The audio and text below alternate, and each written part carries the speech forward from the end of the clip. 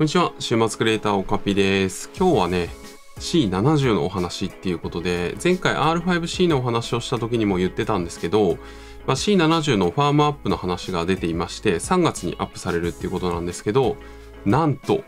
なんとローが乗るっていうね、こう衝撃の事実が発表されたんで、まあ、これやっぱちょっとおしゃべりしといた方がいいかなと思って収録をしております。大体いつも収録機として C70 使ってるんで C70 をこう手元に持ってねお話しするってことがほぼできないんですけど、まあ、今日さすがにこうやってじゃん C70 をね持ちながら喋った方がいいかなといろいろ画面も見ながら喋った方がいいかなと思ったので、えー、急遽 R3 で収録してます。で R3 もまあ別にローで収録する必要ないんですけど、こうおっさんをね、ローで 6K で収録して何の意味があるんだってなるんですけど、まあ、 RAW で収録しといた方が、あの、プロキシーが作れたりして便利なんで、えー、それでやってるっていう感じですけれども、ファイルサイズがね、膨大になっちゃうと思うので、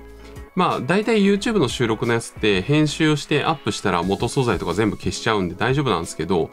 なんかね、パソコンに入れるのもちょっとめんどくさいなっていうのがあるんで、まあ、 RAW はね、この辺りの容量の取り扱いが、あの問題にはなるかなっていうふうには思ってますね。その辺りも絡めて、えー、C70 のローはどんな感じになるのかっていうのをお話していこうと思うんですけど、そもそもね、この C70 もう素晴らしい機械なんですよ。やっぱり素晴らしいカメラで、やっぱさすがシネマ機だなっていうことで操作性が抜群にいいっていうところと安定性も素晴らしいし、まあもちろんミラーレス一眼に比べたらちょっと大きさはあるし重さもあるんですけど、まあ、映像だけ撮るっていう時に関しては、もう間違いなく第一選択肢として C70 って感じ。自分の場合はね。自分の持ってる機材が C70、R3、R5 っていうところで、選ぶとしたらもう C70 間違いなく選ぶって感じなんですけど、まあ、いくつかね、C70 でデメリットというか気になるポイントがあるんですけど、まあ、一番大きなあの気になるポイントっていうところで言うと、まあ、ローが取れないっていうのはあったわけですよ。シネマ機なんだけど、ローが取れませんと。いうところがあって、まあ、ローが本当はね、あの、外部収録でもいいから撮れるようになったらいいのになってすごく思ってたわけです。で、これね、あの、外部収録ならって言ってた理由が一つあって、まあ、そもそもこれ、あの、SD カードなんですよね。SD カードのダブルスロットなんで、まあ、さすがに無理やろと。SD カードだったら、あの、ロー収録でビットレートは多分足りないので、まあ、無理だろうなと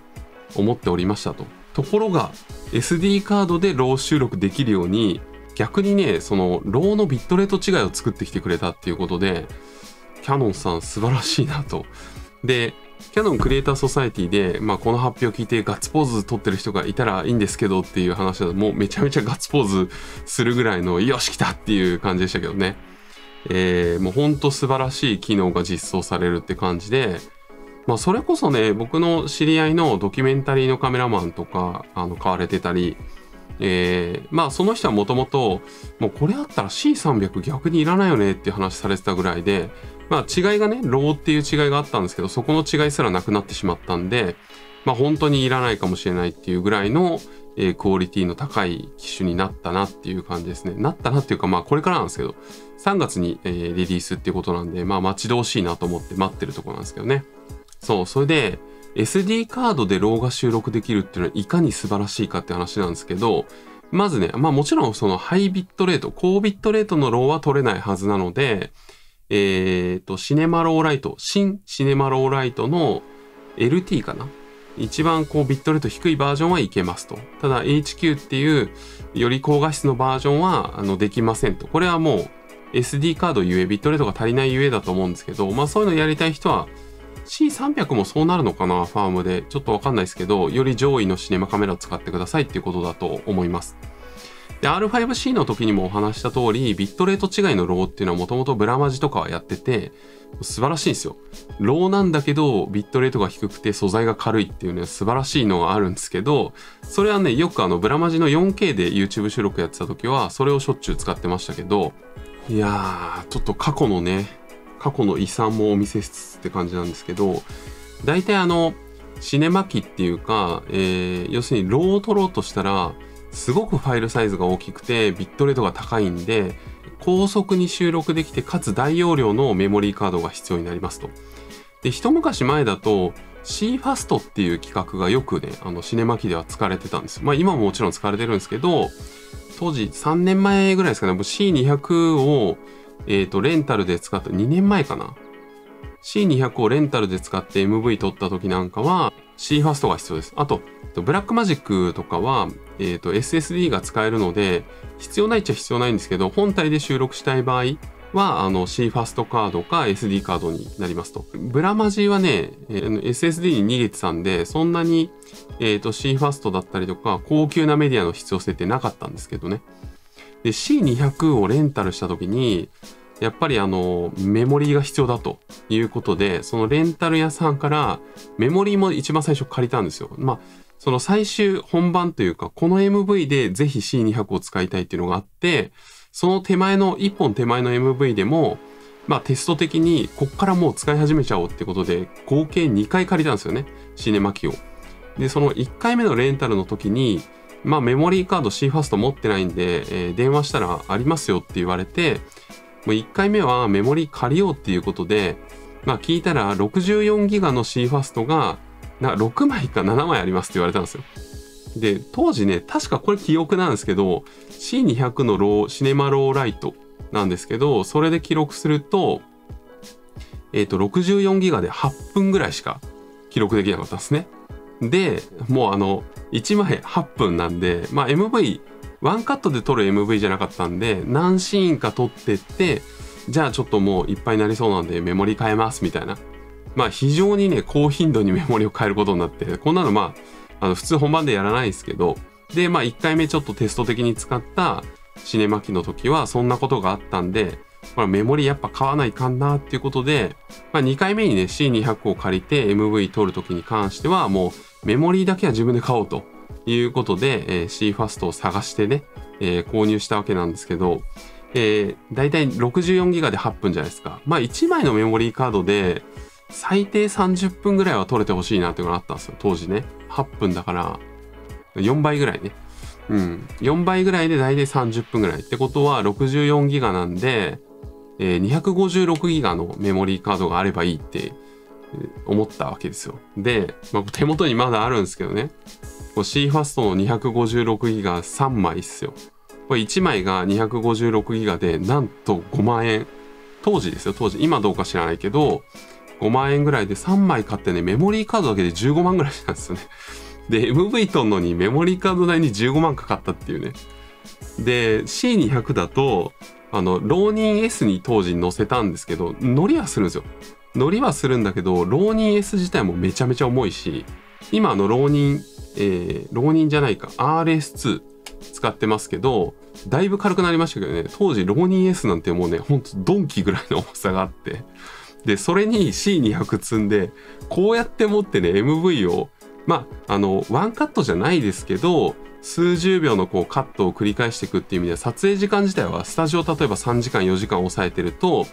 まあ、正味2時間ぐらいこうやって持ってる時間ってあるわけですよ。やっぱ無理だなということで、えー、これも余談になりますけど C200 ローニー S っていう組み合わせになった時に当時確かシネマレンズもつけたんですよね。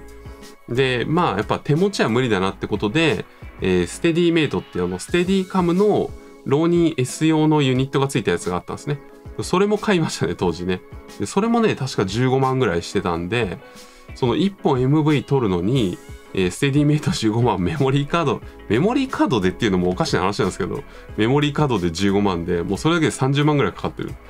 で、スタジオも何時間か抑えたら、まあ10万ぐらいかかってっていうのがあって、まあなんかね、あのー、ものすごい豪華な MV を撮るわけじゃない、撮れたわけじゃないんだけど、一生懸命頑張って撮った MV でやっぱ1本50万ぐらいかかったっていうのはなんかね、記憶にすごく残ってますね。で、そんなめちゃめちゃ苦労するのが、まあ素人が手出したらっすよ。素人が手出したらシネマカメラってそんなことになっちゃうわけですよ。まあ本体買ったらそれこそ百何十万とかね。C200 だったら80ぐらいなのかな。今、中古だったらもっと安いと思いますけど。っていうのがあるんで、まあ百何十万とかするじゃないですか。まあとてもじゃないけど買えませんという人にとっては、この C70 ってシネマカメラのエントリー機としてね、めちゃくちゃいいわけですよ。めちゃくちゃ良くて、メモリーカードも普通の SD が使えるわけなんで、かなりいいよね、と過去の経験で MV 取るとき大体1時間半分ぐらいメモリーカードを持っとけば大丈夫だなっていうのは自分の場合ですよ。あって、まあ、そのくらい用意するようにはしてますというところから来てるんですけど、ステディメイトも結局その1回2回の撮影だけでしか使っていなくって、やっぱ結構ね、ごっついんですよね。で、動きが相当制約されるのと、スタジオが狭かったりとかしたら、どっかにぶつかるんじゃないかって、この動線とかもかなり細かく綿密に練らないといけないんで、で、人に当たったらもう結構大変な感じの、もうそれこそドンキなんですよね。なので、まあ、できればそういう、あの、こう、小系統のイージーリーグとかもありますけど、ああいう系統のあんま使わずにやりたいなと、最近は思ってるんですけど、まあそういう人にも、このペイロード自体がかなり軽いんでね、普通のシネマカメラに比べたら、あの、ミラーレス一眼に比べたらもちろん重いですけど、シネマカメラの他のものに比べたらかなり軽いんで、まあこういう C70 はおすすめですね。で C70 と RS2 使えば、あのジンバルワークもできるので、えー、おすすめな組み合わせだと思います。それでね、C70 でローが取れるってなると、まあこれまでだとローが取れないんで、まあと言っても、オールインタラの素材でもちょっと見てもらうとわかる通りなんですけど、R5 とね、同じように海岸で逆光環境で撮ったやつがありますけど、まあかなり快調が豊かで、さすがダイナミックレンジモンスターって感じがあって、まあフルサイズとスーパー35でフルサイズじゃないと嫌だっていう人もいるんですけど、やっぱね、シネマカメラのセンサーの、えー、スーパー35と一般のスチールカメラのフルサイズのセンサーっていうのはもう、まあ、比較対象にはならないと思った方がいいですね。会長がね、ものすごく豊かで、めちゃくちゃ綺麗な映像なんですけど、加えて言うならば、まあ、さらにね、その MV とか PV とかで使っても、カラーグレーディング体制かなり上がってると思いますし、まあ、ローで撮ることによって、まあ、保険にもなると思うんですよね。まあ、色温度だったり、ISO 感度だったり、後から変更することもできるので、まあ、クライアントワークにおける保険にはなると思いますね。うん。クライアントワークやってる人でローで撮りたい理由の一つはそれはあるんじゃないかなと僕は思いますけどね。もちろんその現場でね、きっちりセッティングしてから撮影はするんですけど、仮に何かあった時にローだったら戻せる幅が大きいっていうことで、復旧しやすいっちゃしやすいですよね。まあ、そこはあるかもしれないです。まあ、自分もそうですね。ローで撮りたい理由の一つはそれで、もう一つはこう、カラグレのところっていう感じですね。なので、えー、めちゃくちゃ、めちゃくちゃいいなと。まあ、C70 唯一問題があるとしたら、問題っていうか、ちょっと気をつけなきゃいけないところがあるとしたら、あの、センサーはね、あの、サイズが小さくても、シネマ機のセンサーなので、えー、通常のスチール機のフルサイズセンサーとはもう全然比べるレベルじゃないんですけど、動画で言ったらもうはるかに綺麗ですけど、ね、やっぱシネマ機の方が。なんですけども、画角？画角がやっぱりフルサイズ画角にならないっていうところはちょっとネックで、これをフルサイズの画角と合わせたい。あるいは、さっきの MV の話じゃないですけど、まあ MV みたいにこう顔のアップとかも入ったりするものだと、えー、ぼかし幅、えー、できるだけ背景がボケたところも、えー、可能な方がいい、嬉しいわけですよね。でそういう意味で言うと、えー、そのスーパー 35mm のセンサーであるがゆえに背景のボケ味が足りないっていう場面はまあまああります。キャノン純正のアダプターを使うことによってそこがまあフルサイズの画角で、えー、かつまあ開放 F 値も上がるっていう小さくなるっていうことで結構そうそのあたりを組み合わせて使わないといけないかなとでそうするとレンズが今度は EF になってしまうんでまあどうなんでしょうね。まあ、その映画とか MV とかあドラマとかそういうのやってる人はシネマレンズ使う人も多いと思うので、まあ、逆に EF の方がいいっていう可能性もあるんですけど、まあ、RF レンズの改造感が気に入ってる人にとっては、まあ、ちょっと解像度落ちるかなっていう感じはしますね。うん。これ。これですね。この真ん中にレンズが入ってるタイプのこのフォーカルレデューサー。高いですけど、ね、これも8万円ぐらいしますからね。まあまあ高いですけど。まあでも写りは素晴らしく、写り素晴らしくいいので、まあ組み合わせて使うのがいいんじゃないかなと。僕は EF だと 2470F ニッパと 50mm の F1.2。もう RF じゃなくて EF の方にしちゃいましたね。共有できるんで C70 とかシネマ機と、えー、このフォーカルレデューサーを使って撮るパターン。もう一つは今収録で使ってますけど R3 だったり R5 っていうスチール機でえー、50mm 単焦点で使うパターンっていうのを、まあ、どっちでもいけるようにってことで、えー、EF の 50mmF1.2 結構古いレンズですけどね使っていますいやー CF エクスプレスが今 R3 のがいっぱいになっちゃって。そんな喋ったかなと思って。1時間ぐらい喋ったのかなと思って見たら間違って60フレで撮っていたっていうねオチでした。60フレで撮ったらそれはいっぱいになるよね。でも30分ぐらいで325ギガとかがいっぱいになっちゃうんで。はいびっくりしました。ということで、えー、ちょっと C70 のことをもうちょっと喋ると、えー、なんかね、質問で、えー、C70 の SD カードの収録時間ってどんな感じですかっていうのをいただいてましたんで、ちょっとお話ししたいと思います。で、最近ね、昔は α7-3 使ってた時は、えー、CF、CF じゃねえや、SD カードってサンディスクのやつをずっと使ってて128ギガ使ってたかなメモリーカードを写真でも映像でも共有で使い始めたっていうのもあるし、えー、安定性が非常に高そうだなっていうことでサンディスクのねメモリーカードもそんなに悪くはないんですけどこれはなんかソニーのあの管理ファイル作るってやつが悪さしてた気はするんですけど α7-3 の時に2回くらい合計2回か3回ぐらいやったかなトラブって管理ファイル作るのに失敗したとか読み込みに失敗したとかだったか忘れましたがエラーでデータ消えたっていうのが2回ぐらいあってもうちょっと恐ろしすぎて、えー、まあそれもあってちょっとソニー機怖いなって思ったとこもあるんですけど。ちょっとメモリーカード見直したりしたっていうところありますけど多分ソニー機のあの管理ファイル作るって今なくなってるんじゃないかと思いますけど当時のあの機能が悪さしてたんじゃないかと思いますけどね。今 SD カードにしても CF エクスプレスにしても、えー、プログレードのコバルトっていう一番速い速度出るやつを使っています。で、SD カードはね、ちょっとこれ開けていいんだっけな。まあ、プログレードコバルトの 256GB のものを使っています。で、大体 YouTube の収録の時は、えー、MAX の画質である必要全然ないので、おっさん撮ってるだけなんで、えー、ロング GOP のモードにして、ただ編集が重くなっちゃうんで、ロング GOP を A スロット、で B スロットに、えー、プロキシっていう形にして、これまあリンクして、えー、ダヴィンチで使うっていう形にしてますね。まあ一応ロング GOP のモードだと、えー、213分。4K のこれはね、モードが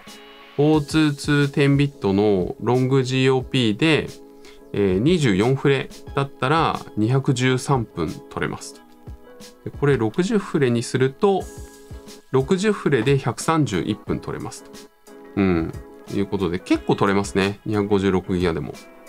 で、MAX のモードだとちょっと少なくはなりますかね。イントラフレームっていうやつですね。イントラフレームで、これはもう30フレまでしかいけないんですけど、だいたい僕24フレで撮るんで、えイントラフレームで撮ると、え、24フレだとして83分ですね。えー、長回しももう全然安定してできるので C70 当たり前ですが全く問題なく動作しておりますね。えー、ということで今日は C70 ネタを少し喋ってみましたが、まあ、実際にはファームウェアのアップデートが来てから、えー、またローで撮ったらどんな感じとかローで収録するなら何分ぐらい収録できるとかね、えー、細かい話もできたらなと思っております。あとはまあ、あの C70 のローのアップデートが出る頃に R5C も多分発売されるんじゃないかなと思いますので、えー、そのあたり絡めてまたね、お話できたらいいかなと思っていますので、こういったカメラの話、ガジェットの話、撮影の話がお好きな方は、えー、ぜひ引き続き聞いていただけたら嬉しいです。ではまた次の動画でお会いしましょう。ご視聴ありがとうございました。